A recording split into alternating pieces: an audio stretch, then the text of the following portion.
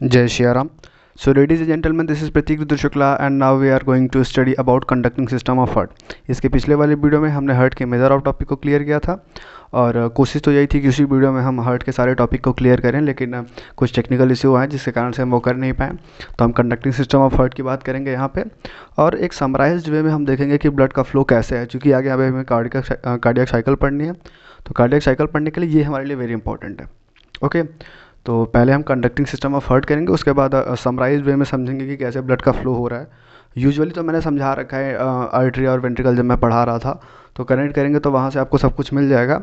लेकिन एक तरह से पूरा पाथवे हम समझा देंगे तो कार्डियक साइकिल हमें बहुत अच्छे से समझ में आ जाएगी।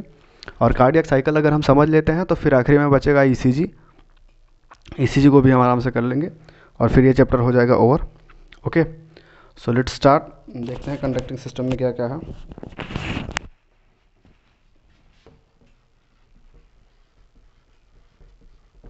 conducting system of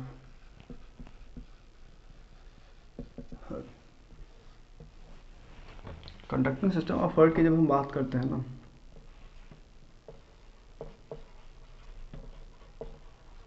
structures which are responsible for responsible for generation and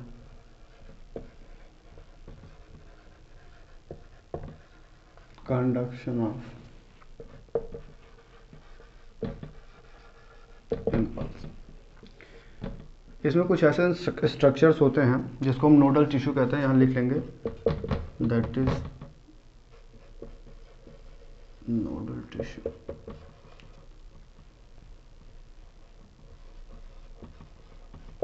यहाँ कुछ स्ट्रक्चर होते हैं उनकी हम बात करेंगे। जो conduction and generation and conduction के लिए रिस्पॉन्सिबल होते हैं। जैसा मैंने आपको ऑलरेडी बता रखा है कि हार्ट मायोजेनिक होता है तो मायोजेनिक होने के कारण वो खुद से अपना इम्पल्स जनरेट कर लेता है। और उसमें जो सबसे रिस्पॉन्सिबल होता है that is A V node sorry SA node sinoatrial node होता है, वो प्राइमरीली इन्वॉल्व होता है फॉर जनरेशन ऑफ़ इम्पल्स में। कंडक्शन भी करता है लेकिन मुख्यतः जो कंडक्शन का काम होता है, वो ए वी बंडल के द्वारा किया जाता है। ओके चलिए आइए देखते हैं क्या कहते हैं। These are modified cardiac muscle fiber muscle fiber ये वीडियो हम तीसरी बार रिकॉर्ड कर रहे हैं। दो बार हमने रिकॉर्ड करी वॉइस वगैरह नहीं आ रहा था वॉइस में प्रॉब्लम है। मैंने बताया ना टेक्निकल इश्यूज़ हो रहे हैं। तीसरी बार इस, इसी टॉपिक को तीसरी बार हमें करना पड़ रहा और आई थिंक रात के बढ़ रहे हैं तकरीबन डेढ़। ओके तो कंडक्टिंग सिस्टम ऑफ़ हार्ट में हमने क्या पढ़ा? कि structures which are responsible for generation and conduction of impulse अभी उन सब स्ट्रक्चर को देखेंगे जिसको नोडल टिश्यू के नाम से भी जाना जाता है। देखिए, ये मोडिफाइड कार्डियक मसल फाइबर होते हैं, ये इंपॉर्टेंट है और इसको लिखिए। वेरी इंपॉर्टेंट ओके चलिए। उन स्ट्रक्चर की बात करने से पहले जरा सा डायग्राम बना के देखेंगे। डायग्राम अच्छा बनेगा, इस बात की उम्मीद मुझसे बहुत कम रखिएगा। ओके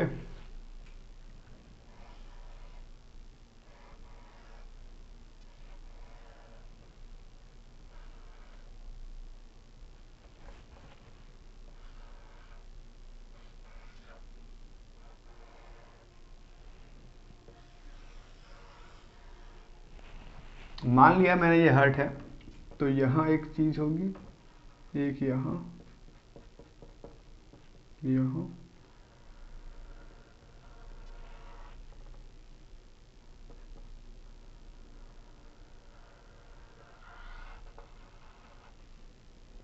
चलिए इस मटेरियल को कहते हैं एस एन अभी सबकी चर्चा करेंगे। इसको कहते हैं ए बी एन इसको कहते हैं ए बी बंडल इसको कहते हैं? Right and left branch of A B bundle A B bundle को बंडल ऑफ़ फ़िश भी कहते हैं। बंडल ऑफ़ फ़िश और यहाँ देखेंगे ना, आप कुछ ऐसे स्ट्रक्चर्स मिलेंगे। Outgrowth of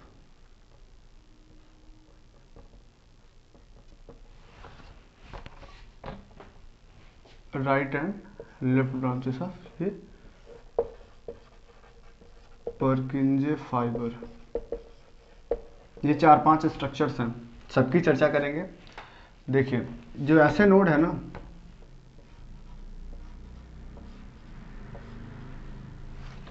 ध्यान देंगे। पहले लिखिए ऐसे नोड जिसको कहते हैं साइनोएट्रियल नोड या पेस मेकर पेस मतलब होता है स्पीड मेकर मतलब बनाने वाला। तो इसके बारे में अगर लिखे तो सबसे पहले इसका लोकेशन लिख लेते हैं। और अगर लोकेशन की बात करेंगे तो ये होता है right wall of right atrium right wall of right atrium very important है, लिखिए क्वेश्चन बनता है इससे। दूसरा क्वेश्चन क्या है? दूसरी चीज़, पेस मेकर मैंने बता दिया, ये कहा जाता है primarily primarily involve in generation of impulse conduction में भी काम करता है and conduction of impulse SA node के बारे में हमने सब कुछ पढ़ लिया। ये ये देखिए, ये आपका ऐसे नोड है। ऐसे नोड क्या करता है? इम्पल्स को जनरेट करता है। जो अट्रियल एट्रियल वॉल्स हैं, यहाँ ऐसे नोड खुद ही इम्पल्स का कंडक्शन भी करता है। ये देखिए, ये जो रीजन है, यहाँ खुद भी कंडक्शन भी कर लेता है। लेकिन जो ये वेंट्रिकुलर रीजन है वेंट्रिकुलर वॉल यहाँ नहीं कर पाता चूँकि ये इलांगेटेड फॉर्म होते हैं वहाँ से थोड़े दूरी पे होते हैं। तो उसके लिए एक माध्यम की ज़रूरत पड़ती है जिसको हम कहते हैं ए वी नोट आइए। ऐसे नोट का छोटा भैया। अच्छा कितना इरिटेटिंग होता है ना। आप वही काम दो बार कर चुके हैं उसका प्रॉपर रिज़ल्ट नहीं आया। और अब चूँकि करना ही है तो फिर तीसरी बार भी कर रहे हैं। ये घिस घिस के मैंने तीन बार करा। खैर, जो भी है, आ जाओ। एवी नोट की बात करें तो इसको कहते हैं एट्रियो वेंट्रिकुलर नोड ये छोटा भैया है किसका? ऐसे नोट का। लोकेशन की बात इसकी नहीं करते हैं हम, और मुख्यतः यहाँ जो बात करते हैं इट रिसीव्स इम्पल्स फ्रॉम कहाँ से इम्पल्स रिसीव करेगा भाई? ऐसे नोट से।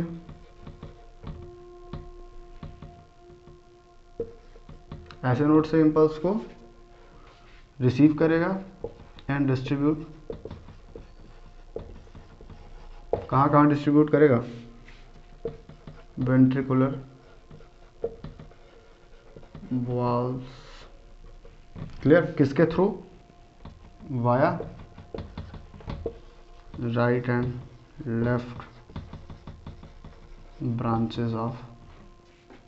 इसी में हमने right and left branches of AV bundle को भी खत्म कर लिया और परकिंजे फाइबर को भी। Right and left branches of AV bundle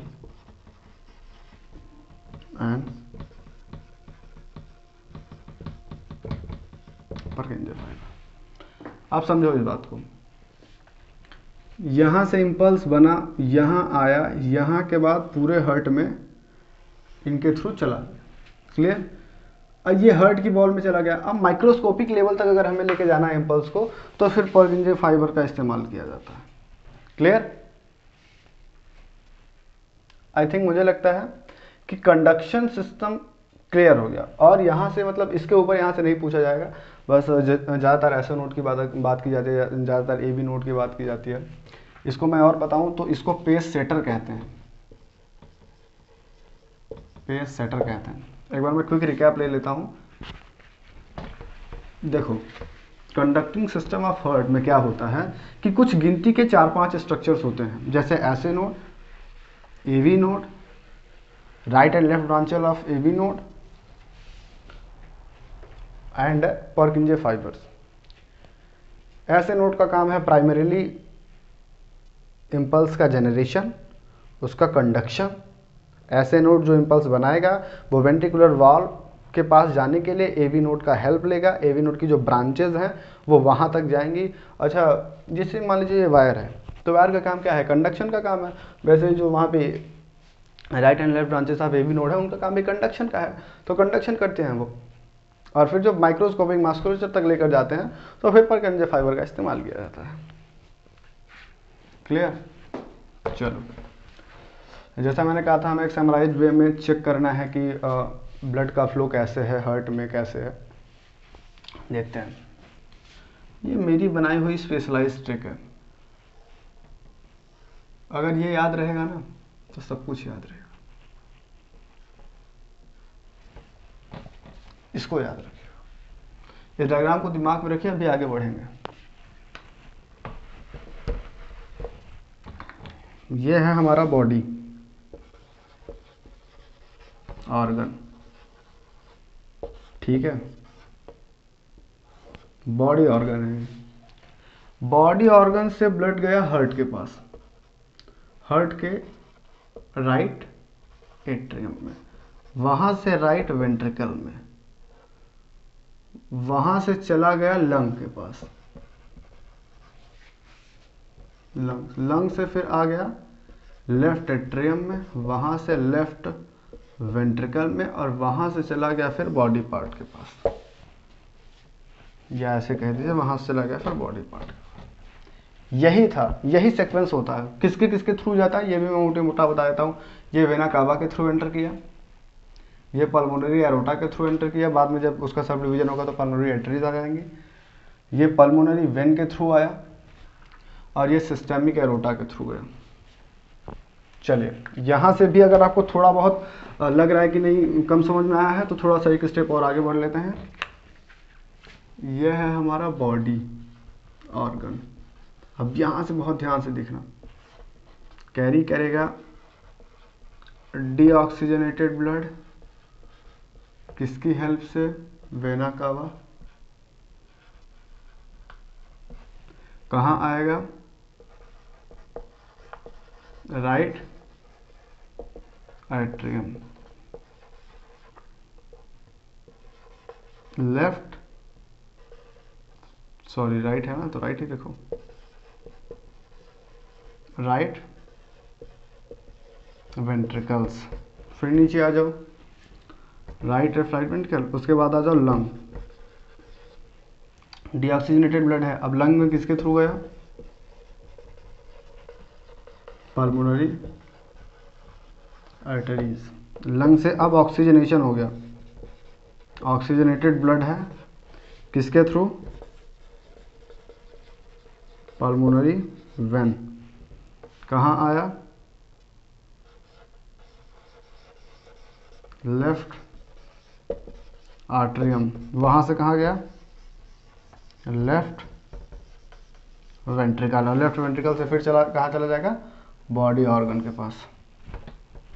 topic खत्म होते होते हमारा मार्कर भी जवाब दे गया, बॉडी ऑर्गन के पास। क्लियर? तो यही पूरा वे था।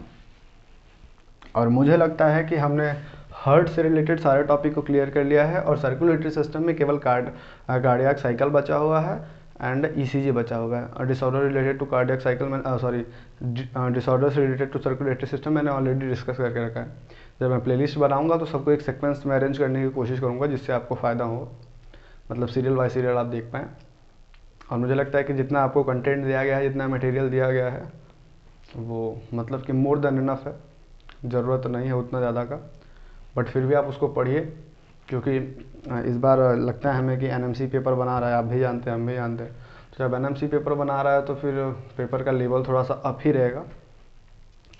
और मैं कई बार बता चुका हूँ ये बात कि एन इशारे करती है और उनके इशारे करने का सेंस ये होता है कि बच्चों के अंदर क्यूरियोसिटी आए, उसे ज़्यादा जानने की कोशिश करें। और अगर उस क्यूरियोसिटी बेस पे क्वेश्चन बनता है तो इन सब की डेफिनेटली आपको ज़रूरत पड़ेगी। तो I think structure of heart आप और अच्छे से पढ़िएगा। स्ट्रक्चर मैंने वहाँ जब मैं हर्ट पढ़ा रहा था तो वहाँ मैंने स्ट्रक्चर बनाया नहीं था तो इसके लिए मैंने एक पंद्रह सेकेंड की वीडियो अपलोड करी है। और मैं लिंक दे दूँगा डिस्क्रिप्शन बॉक्स में भी आपको मिल जाएगा और पिन कमेंट में भी मिल जाएगा। अब देख करके आप देखेंगे तो उसमें मैंने थ्री में भी दिखाया हुआ है और टू में भी दिखाया हुआ है। बड़े अच्छे से उसमें मैंने दिखाया कि हार्ट का स्ट्रक्चर कैसा है। और एक दूसरी दरख्वास्त यह है कि चार पाँच बार घर पे जाइएगा ना तो कम से कम चार से पाँच बार हर्ट को खुद से बनाने की कोशिश करिएगा और खुद से लेबल करने की कोशिश करिएगा। जो मैं ट्रिक की बात कर रहा था आपको, और जाते जाते मैं आपको बताता जाऊँ। देखो वेना कावा से राइट एट्रियम ये पॉइंट राइट एट्रियम है राइट एट्रियम से राइट वेंट्रिकल राइट वेंट्रिकल से फिर चला गया लंग के पास, किसके थ्रू पल्मोनरी एट्री के थ्रू अब लंग के पास फिर चला आया राइट एट्रियम में राइट एट्रियम से फिर राइट वेंट्रिकल में, फिर यहाँ चला गया बॉडी ऑर्गन के थ्रू तो यही मैं डब्ल्यू बनाने की कोशिश कर रहा था। ब्लड का फ्लो है इससे। इसको याद रखिएगा पेपर में आपके काम आएगा। क्लियर और आई थिंक मुझे लगता है कि हमने सब कुछ क्लियर कर लिया है। मिलते हैं आपसे नेक्स्ट वीडियो में। हर्ट का पार्ट टू वाला ये वीडियो था। And thank you very much जय श्री राम